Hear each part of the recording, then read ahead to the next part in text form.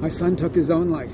The father of Andrew Koenig, the 80s sitcom sidekick known as Boner, at a loss for words as he and his wife Judith faced a sea of cameras just hours after his son's body was found in a Vancouver park. We've already said, you know, what a great guy he was and good human being and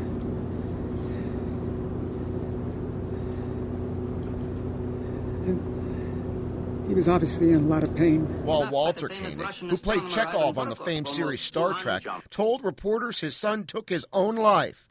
Vancouver police refused to confirm the claim. We're not going to speak about cause of death.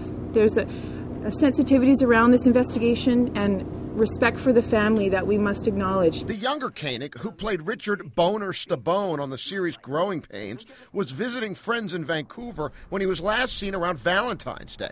He was supposed to return home to California on February 16th. A group of friends who formed an impromptu search party Thursday found the body about 100 feet off a walking trail. He was in a densely wooded area. This is a path where if you just stepped even a few feet off of it, you'd be in a heavily treed area with some marshland nearby. Koenig's parents say he was depressed. His friends described him as despondent in the days before he disappeared. In a brief statement, Koenig's father pleaded with those facing depression to get help. The only thing I want to say